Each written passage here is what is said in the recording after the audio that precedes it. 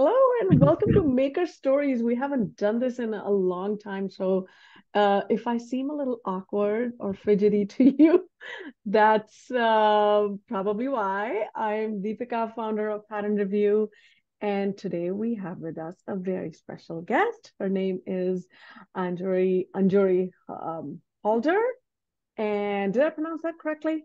Yes. Thank you. Mm-hmm. And she is the or- owner and founder of Bee Threadly. She loves sewing. She loves embroidery. This her website is a line of embroidered iron-on patches. You can also find her sewing garments for herself and her adorable little daughter. And I've enjoyed seeing her journey on Pattern Review and on Instagram. So I invited her to be a part of our special series, Maker Stories, in which she shares what inspires her, what she loves to do, tell us a little bit about her business, and we can hopefully promote her and get the word out there. And uh, yeah, Anjori, thank you so much for coming today. Thank you for having me. Right. Are you ready? I did send her uh, a list of questions, which we're going to be um, talking about in a. But I always love that these conversations flow very naturally, and it. I want all of our listeners and um, readers. No, they're not readers. There's going to be listeners and watchers to feel like um, we're with you in your sewing room. So if you're sewing something, um, hand sewing or machine sewing, we are so grateful that we can be a part of that journey. So, Anjori, tell me a little bit about your background and how you learned to sew. Um, okay.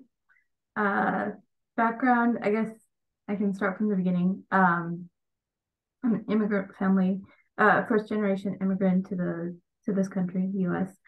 And so, but I was raised here for most of my life, so I pretty much straddled both the American culture and the Indian culture most of my life, and it's even more so like trying to figure out how to what to pass down to my daughter. Um, but being an immigrant family, the focus was always math and science. Oh my God, yes. Yes. I have a 12 year old daughter, so um, no, no, no questions there. yeah, definitely. Right. I get it. Yeah. Um, my dad was an engineer, uh, so I kind of followed into his footsteps. Um, I became a computer engineer, studied that in college. Um, my mom was at home with us um, when she came to when we came to this country. She was a professor before. Um, so I was around and exposed to sewing because of her. She like I would watch her. It was just magical. Like I would just watch her cut out the uh, do all these measurements on newspapers and old newspapers and cut out something and then like the next day I would have a dress Wow. It was just perfect. Like she she knew what to do. She didn't she didn't really like making sleeves, I think, because most of my dresses were sleeveless. Sleeves are hard. Most people don't realize because there's a lot of movement which is happening, yeah, right? Right. And I didn't understand that until I started sewing myself. I was like, why why do I always get sleeveless dresses? Yeah. I always layer. I always have um, I almost always wear sleeveless clothes and yeah. then I just layer up. There you go. There you go. but yeah, like even though I was exposed, I was never really interested in sewing myself. Um, I I tried sewing a skirt once. Um, my mom took me to a store called G Street, and they would have these like two dollar fifty per yard, like this ginormous pile of fabric that you'd have to sift through. Uh, we got a pattern, we got the fabric, and I, I mean, it was a simple gathered skirt, so it should have been okay, but I didn't like how it looked at the end, so I just never finished it. Um, and that was, I think that was like pre college. So a lot of years go by, and I'm working as a software programmer by that time. And a friend of mine is getting married, and she asks me to be part of her wedding party. And so she has this themed wedding, and each bridesmaid is a different um, decade. Oh, and oh wow. Yeah. so my decade was fun. 1950s, the poodle skirt, like the big poof. Oh my god, I love skirt. the 50s. I love the 50s. So I got this. So I bought bought, bought my dress, and then I was looking to buy a crin- crinoline slip. I can never say that name correctly. Um, and so I could wear the dress later, you know, without the slip. And something happened, like in the search results, I was like, I see how to make your own crinoline slip. And I don't know why I decided that was the thing that I needed to do. well, you never know, and you caught the bug. yeah, yeah. I don't know what happened, but I was like, I think I can make this. It shouldn't be too hard, right? so I go, I didn't even have a sewing machine at that point. Oh, so wow. I go and I buy a sewing machine off Craigslist. Um, I don't even know if they're around anymore. They are. They, they are. are. Yeah, okay. Craigslist is very much around. Okay. Um, so Craigslist $60 sewing machine is very like simple. Um, I had to get help to make and to figure out what fabric to get and everything. And so I make this crinoline slip and it's, I mean, it works, but it doesn't look pretty. but it's supposed um, to be inside though, right? And it's supposed to be inside. So yeah. it didn't matter, right? Yeah. Um, but after that, like, I don't know what it, I guess the sewing itch had started and um I so started sewing random things, like mostly like taking what I already had and changing it up a little bit. Um, I remember uh, refashioning one of my sweaters, taking sleeves off of shirts, things like that. Um, and then I get this wonderful idea to while and this is while my husband is away i think he had like a three day thing at nasa one weekend so i'm like yeah i have three days i can upholster reupholster no my entire no by the time he comes back no don't tell me seriously oh god and? like and this is like all of it, like the guts and everything. I know. That's exactly the face.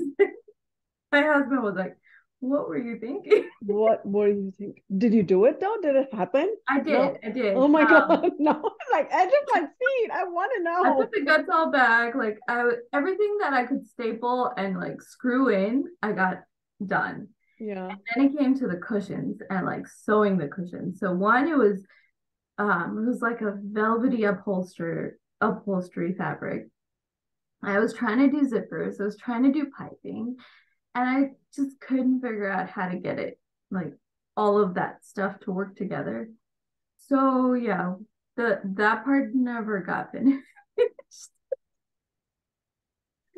we ended up just putting a blanket over the cushion. Yeah, yep. that makes sense. Gonna call it a day. Luckily, it was a hand me down, so it was okay. Yeah. Um, but yeah, I think there were three things that I made that at in that time period. Um, that I am glad I took the time to and pushed myself to do. I had made um two this for my mom and a vest. Uh, so she had she had cancer.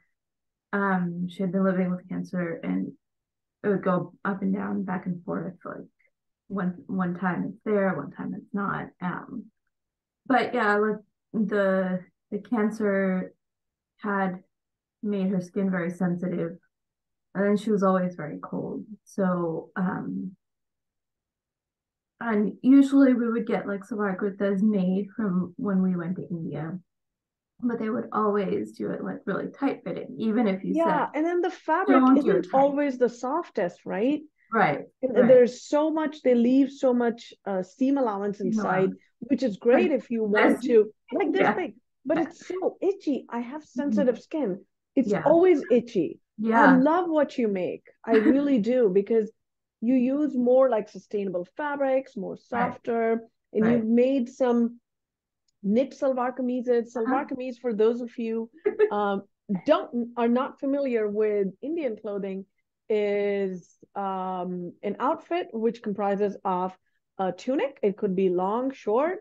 It could be floor length. It could be yeah. like a t-shirt, but and it's always accompanied by pants. Mm-hmm. Uh, usually loose fitting Right. And it's got a very typical style, but over the years, the style has evolved into so many different so types of trousers yeah. pleated, drawstring, yeah. um, elastic waist, uh, skinny legs, flared legs. Flared you legs. have it. But it's just such a versatile um, clothing. And what completes it is the scarf or a dupatta. Right. And um, so, but it's just so comfortable to be in. Yes. And it's, and you know the kind of things you can do with it are just and it looks good on every everybody. You can dress it up, you can dress it down, dress it up and down, yeah. everything. yeah, and it doesn't look like sweat. It does not like, like sweat. It feels like sweat. yeah. but you have to use the right fabric, though, right? Right. right. So that's yeah. great. You were able to make something for your mom. Uh, too, yeah. So she could be comfortable, and it's made by you. Right and she actually didn't know that I was making it. She didn't know that I was sewing. Yeah. So it was the night it was a surprise to her for I think one Christmas. And she was very she was happy to see that I had done it, had sewn and something, and she liked what I had sewn. So that was that was always it was heartwarming for me. Um I think the next phase was um, my mom uh, when she she passed away in November 2012 and then um, my family kind of just fell apart pretty much I'm sorry to hear that separately um, and then almost a year later I had a miscarriage and so I was emotional wreck pretty much for a while. And um, I think my husband suggested, like, why don't you take some sewing classes? You know, go out and do something to different, something different. Yeah. Sorry.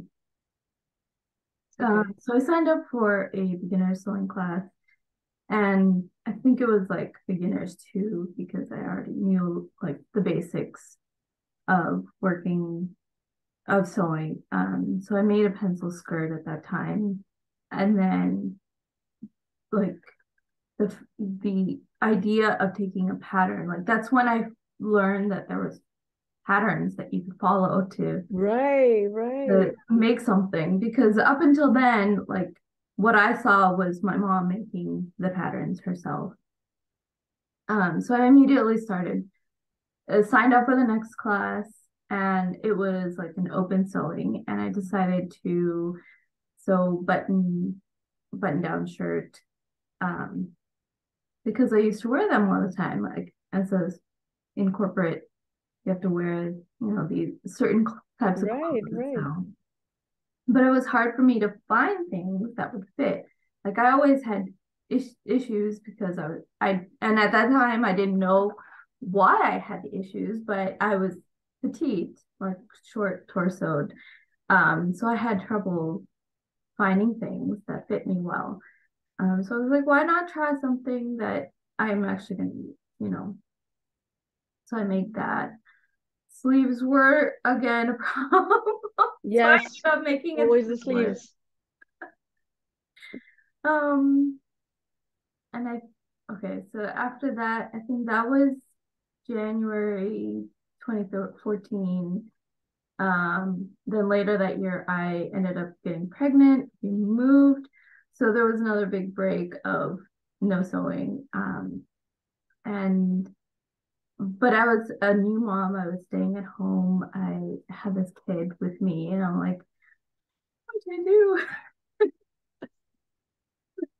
like I'm, I was grateful for her to be here, but it was it was hard because I at that like project uh, like software programming and later as a pro- project manager, I was always under deadlines. Like there's always something to do, something like a deadline to work towards.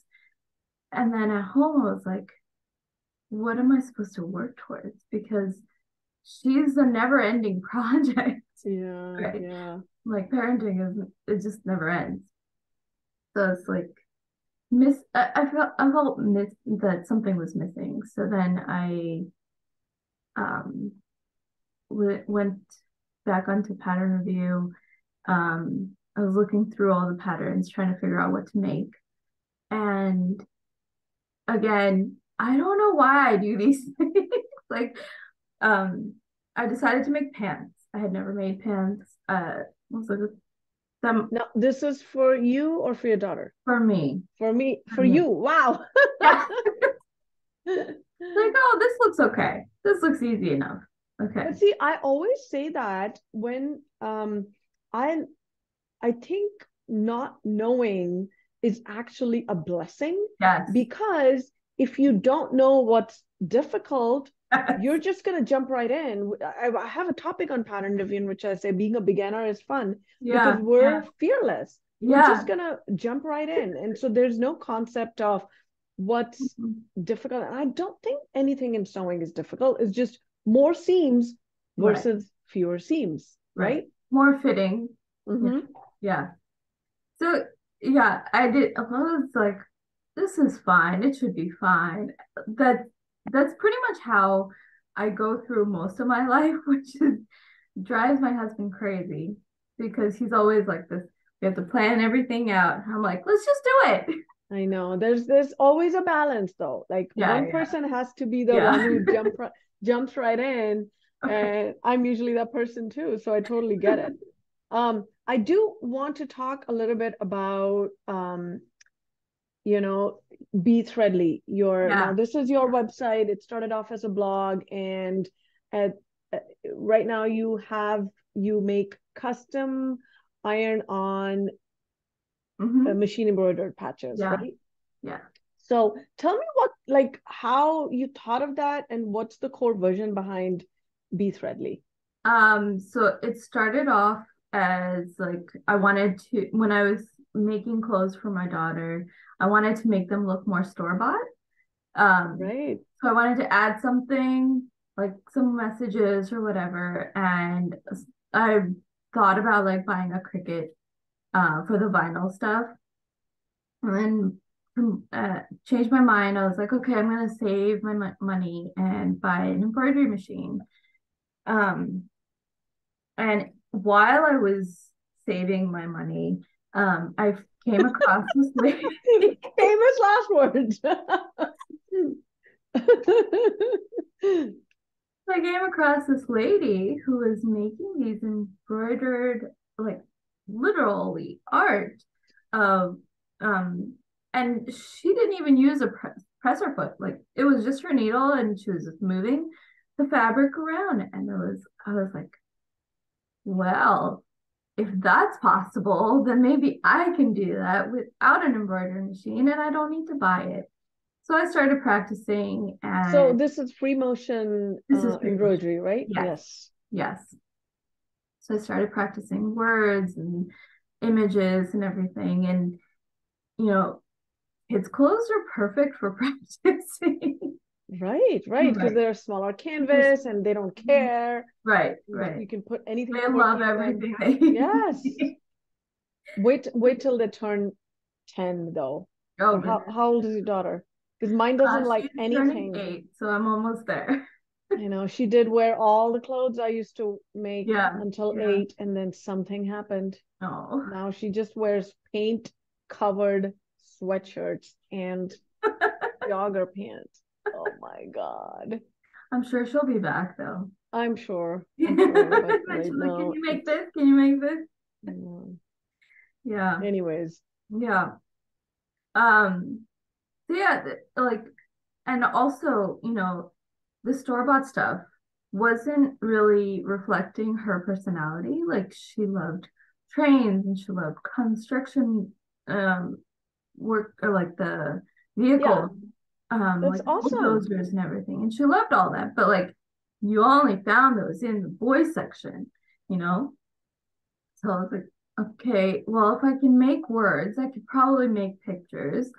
So I found I started making things that she liked. Like I made a train dress and I made a bulldozer with groundbreaker on it and um kind of like a double meaning there. that is wonderful. So like that kind of evolved into, well, everybody likes those things. So why not ha- be able to share it? And so I started testing on how to do it, um, how to not directly sew onto fabric. And that's where the patches started. Um, Now, do you take custom orders or do you um Yeah. have some in stock? Okay, do Yeah. you do take custom So I have I have um I just launched the store in February. So I did that uh, the first launch and then I'm actually doing a new collection either this week or next week. I haven't I haven't figured out what time. Um but it's a spring collection and so I'm going to be like um releasing different collections based on the season and stuff. And um, so this is the next one is a great idea. That's Yeah. a great idea. So I've got bunnies, I've got a bee, I've got a jellyfish. Oh Um, God, that's can so I show you cute. the jellyfish? Yes. Love this thing. For um, by the way, I'm gonna include all the links to Anjali's website and social media stuff in description box below. If you are watching this on YouTube, if you're on Pattern Reviews blog, I'll have all the links there as well. So Yeah. we make it this is a jellyfish. Oh my God, that's adorable. And so this part is the patch, and then like this will be free. Th- so So that'll add so much can, like, texture. with it too. Yeah. Wow. Yeah. That's wonderful. Um, but yeah, so but like the core vision is more of um just adding fun and positive messages to your the clothes, specifically girls' clothes, since it doesn't like I found it like odd that all the girls' clothes that I could see in the store were always like unicorns and rainbows and hearts, and that was it. Like girls have girls like a lot more than just that. Yeah. So for Dia, my daughter, we usually Yeah. we still shop in the boys section because Really. um she yeah so she she has never liked um when she was at your daughter's age she was really into Yeah. space and astronaut stuff so yeah. all of those things we could we even wrote to Old Navy and um about why clothes have to be uh like gendered right. no? Right. Um Right. so yeah I totally hear you so Oshkosh was our favorite store to shop at Mhm. because Mhm. uh, especially the boys section and even now it's just so hard because if a person if a child isn't into society's norm they don't Right. you know um necessarily fit into those norms of what the society thinks the girl should wear or boy should wear or yeah, um Yep. then these type of things really kind of will help like you know Yeah. so that's great i totally get it Yeah. um so what is the one question you get asked a lot Um, how's your business going? but that's good.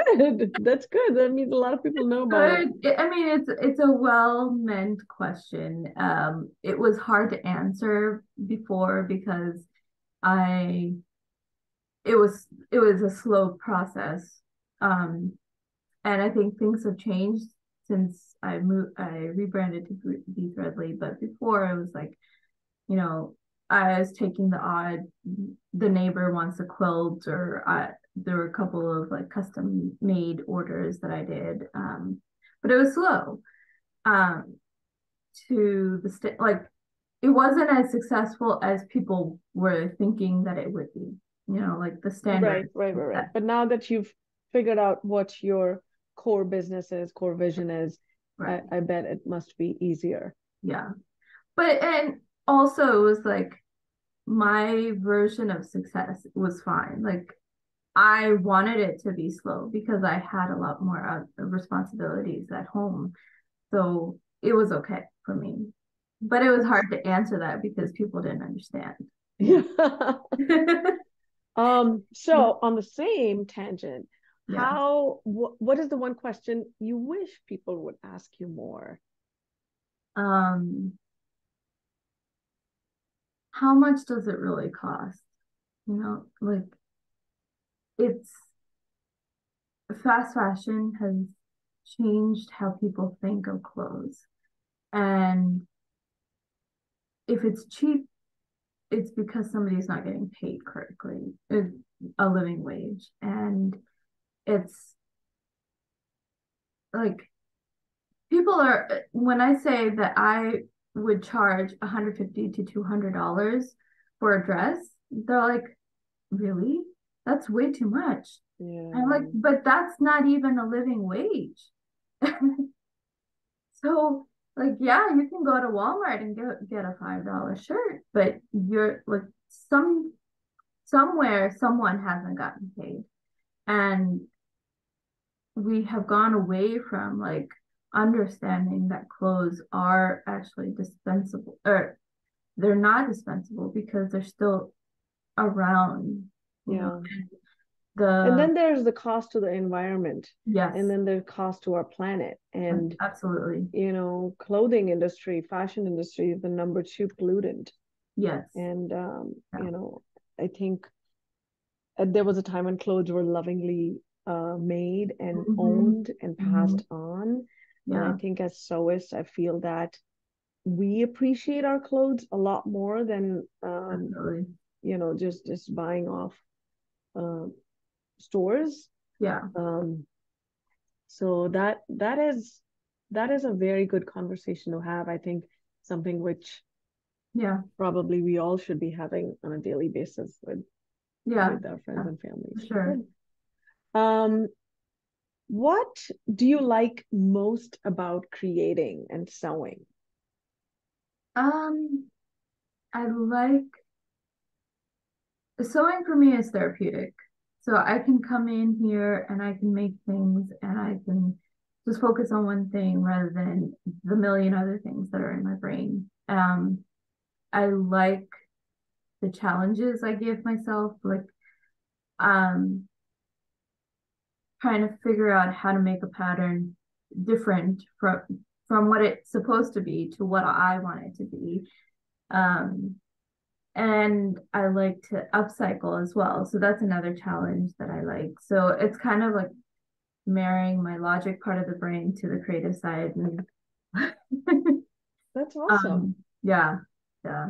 I, and I like um, how you know you just take this flat piece of fabric and you're able to come up with something that you can wear, and it's still magical for me.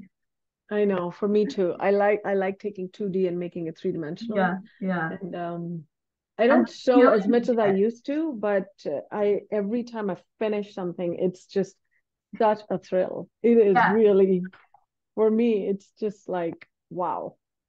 And the feeling you get when you're wearing it, yes, like a whole nother confidence booster. It's absolutely. um, let's talk about. Uh, oops, I'm getting a reminder um, I think let's we're doing okay on time. Um, let's talk a little bit about race and how it's affected your life and your business. Do you think there are biases in the sewing and fashion industry? Um, have you experienced any um, in your own life? Mm-hmm. And do you want to talk about it and share something? Mm-hmm. Um, I mean, being Indian, definitely race has been a part of this uh, of my life, um, we were all my parents always told us like you have to work harder and smarter than everybody else in order to be just equal. So it was kind of ingrained like we're different and things have to be different. Um, I never let it become a hindrance though. I just learned to embrace that I was different and that was okay. Um, in terms of the sewing community, I think, I mean, the sewing community is so so accepting for most people, and it's it's a completely different um, community from other like internet communities. I think very nice. Everybody's very nice. Um, I may like I don't have proof, but I may have um felt that there was some bias towards me. Um, like when I would pa- uh, test some patterns, like other people would get promoted for those pattern testings versus me. Even though they were complimenting what I was making, like I would still not get as much coverage, I guess, as others. Um, and like I said, I don't have proof. Maybe there was something else that they were looking looking at in order, um, but I felt that that's what it was. I think um, feelings matter because if you're feeling like that, they, I mean, they are true feelings. It's not, and I, most often than not, we have been so taught to just second guess ourselves. Yeah. Um, but it's important to acknowledge um, yeah. how it makes you feel, you right. know, right. Um, whether or not it's true to others, it's true to you. Yeah. And, uh, that's what matters. Yeah. And, you know, like my solution was to just stop working with those companies and just move on to the next one. Like you learn your lesson and you, you be more discerning about who you work with. So that's just kind of how I've been taught to move along with in life. Yeah. Yeah. So uh, I meant to ask this uh, sooner, and but I will ask now. How when we talk identity is just as it's such a loaded word. Yeah. Um, it comes easily to some, and to some it's not. But it's one of my favorite questions to ask our guests because I always, always, always look forward to the answer, and um, it connects me to our our guests even more. Yeah. Uh, how do you identify yourself? Um, being Indian is a big part of it, and being an engineer is also a big part of it. But I think I'm at the core. I'm still a maker.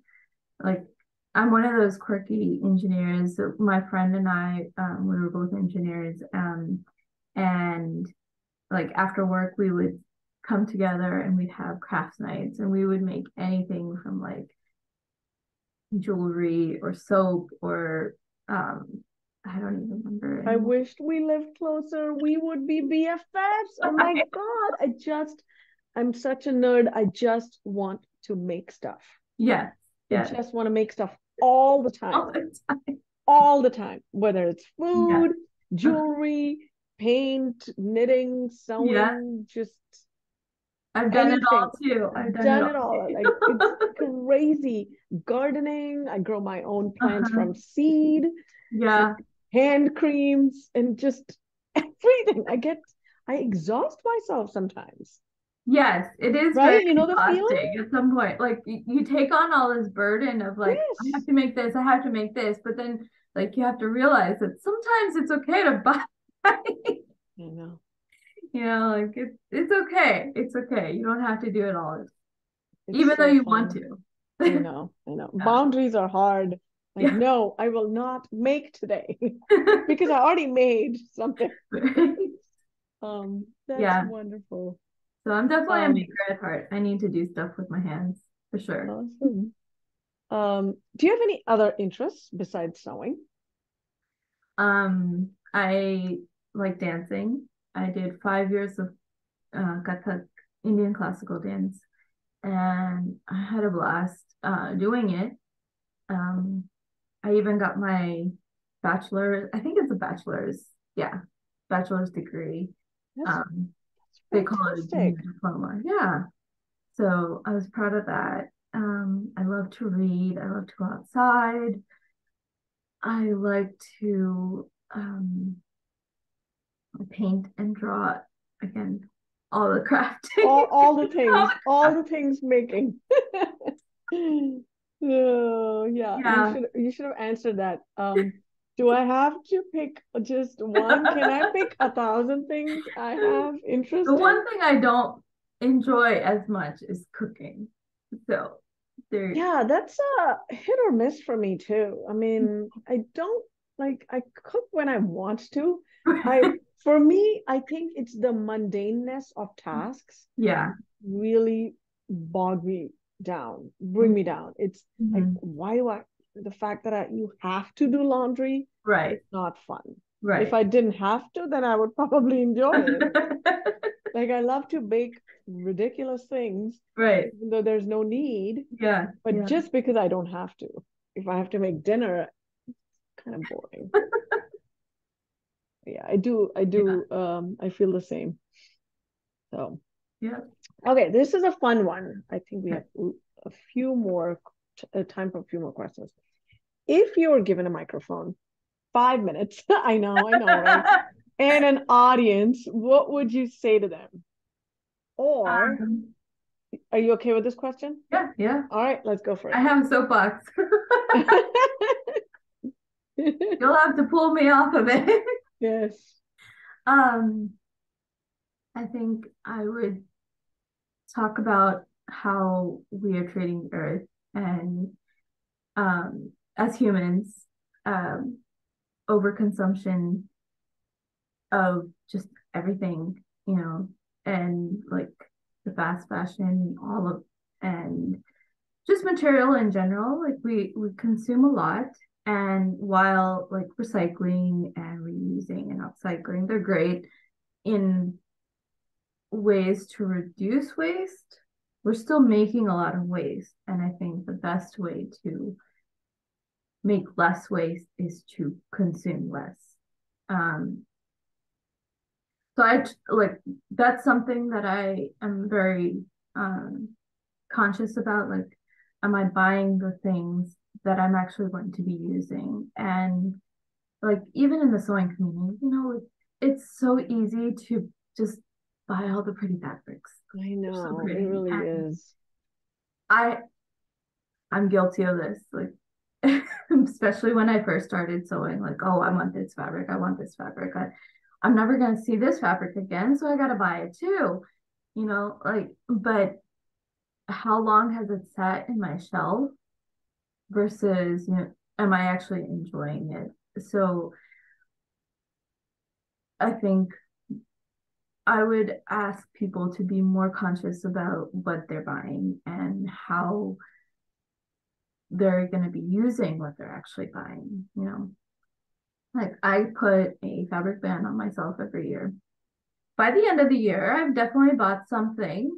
Um, I'm not perfect, but it's more of like I'm making this conscious effort of saying, I'm not going to buy this unless like I absolutely have to use that kind of fabric. Like for example, this year, my my band break is um, I have to get some nude like a, nude fabric to make leotard, a leotard for my daughter. So that's something that I went out and got. But otherwise, like I'm still making that conscious effort to buy less and use what I'm have what I already have. Um, I think that's great. I think. Um, now. Do you continue? um, do you? I actually want to talk a little bit. I know I didn't send this, um, but a follow up to that. Yeah. What advice do you have for?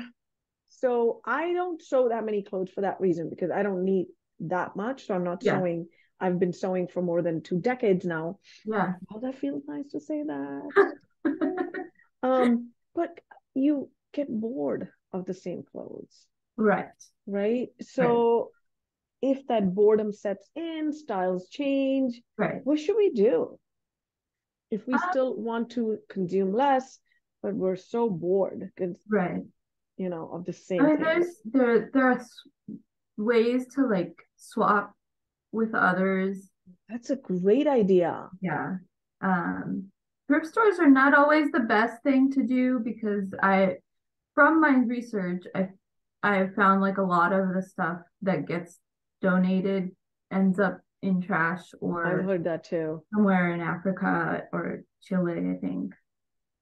Um, but the the swaps I think would be good. And then also like I think as since we make our own clothes, we can take them apart and make them into something new. You know, like I had a dress that I wasn't wearing. Um, I took it apart and made it into a top.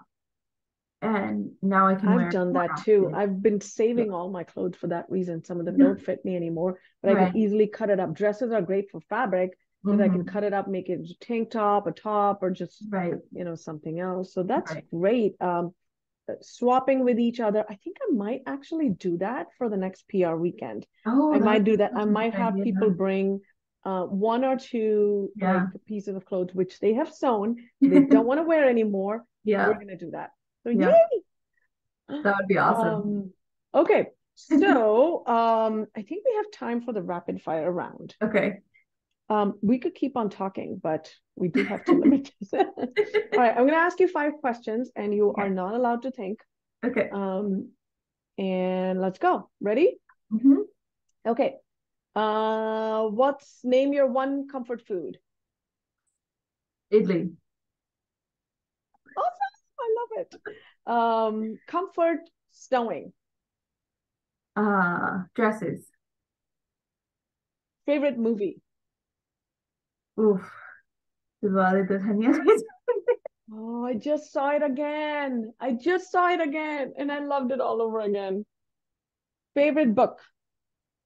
Uh, Miss Mabel's so uh magic school of magic yeah. Miss mabel's school of magic. It is pretty nice. Oh you read it.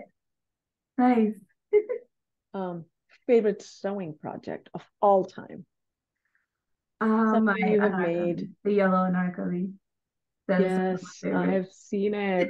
um, it's too bad that I don't know how to edit these videos because it was if I was like fancy and all like Anjori, who does all the fancy stuff on our YouTube channel, I would be including all the pictures. But um, for the real life people like me, I'll be asking you for pictures and I'll include them on our blog.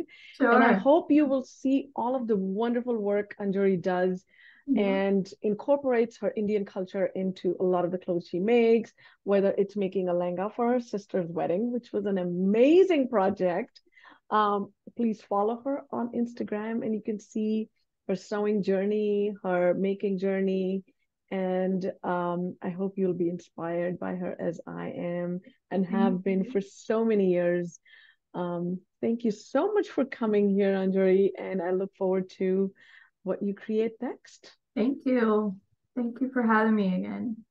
All right. Bye. All right. Bye.